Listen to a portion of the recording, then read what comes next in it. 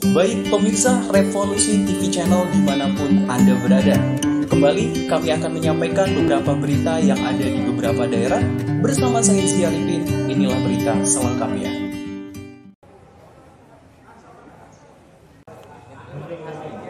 Dalam upaya membantu pemerintah dalam percepatan vaksinasi Polres Subang mendatangi warga masyarakat Desa Blanakan, Kecamatan Blanakan, Subang, adanya gerai vaksin TNI, Polri, antusias warga tinggi untuk jalani vaksin COVID-19 300 warga desa Blanakan jalani vaksinasi massal.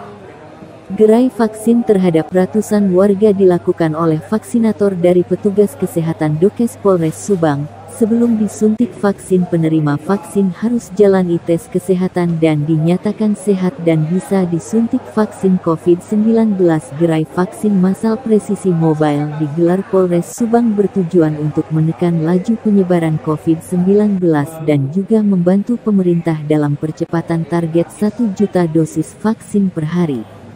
Menurut Kapolres Subang, AKBP Aris Kurniawan Widianto, Vaksinasi massal ini upaya jemput bola sasarannya warga masyarakat Subang.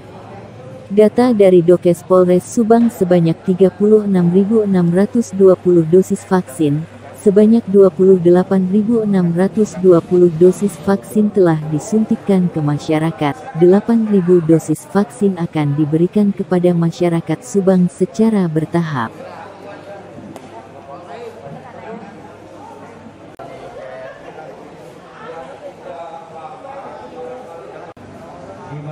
Fatul Ramadan. Ya baik, jadi untuk kita bersama ya, seluruh pemerintah Subang memang berkomitmen untuk melaksanakan kegiatan percepatan vaksinasi. Jadi kita harus bisa melaksanakan vaksinasi sebanyak-banyaknya dalam waktu yang secepatnya juga dengan stok vaksin yang ada di kita, baik dari TNI, Polri maupun dari Dinkes, semua kita kerahkan agar masyarakat segera bisa tervaksin dengan baik sepenuhnya. Nah ini bahkan ada 8.000 vaksin lagi sisa ini bang dari 36.000. Nah ini yang 8.000 eh, sampai kapan akan dihabiskan bang? Eh, kita setiap hari memang ada program vaksinasi massal. Jadi sebisa mungkin kita langsung masuk ke lokasi-lokasi yang memang membutuhkan vaksinasi, percepatan vaksinasi. Seperti di sini di desa di Belanakan ini, kita sengaja jemput bola ke sini langsung ke desa-desa untuk bisa memvaksin masyarakat. Terutama karena masyarakat tidak semuanya bisa untuk menjangkau fasilitas-fasilitas kesehatan kita, ya baik di Kodim, eh, Polres maupun di puskesmas puskesmas seperti itu. Jadi kita lakukan eh, jemput bola langsung ke desa-desa yang membutuhkan. Itu.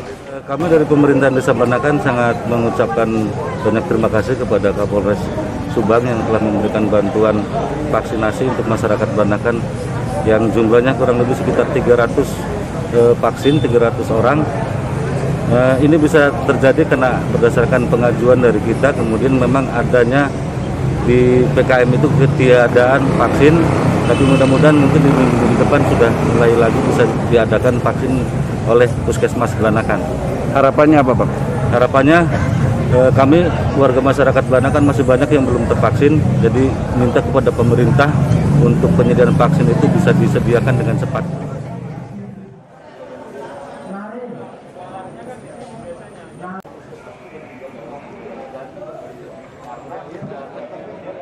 Dengan gerai vaksin massal TNI, Polri, berharap warga semakin sadar untuk divaksin untuk kekebalan komunal dengan mematuhi protokol kesehatan yang telah ditentukan. Agus Hidayat, Revolusi TV, Subang.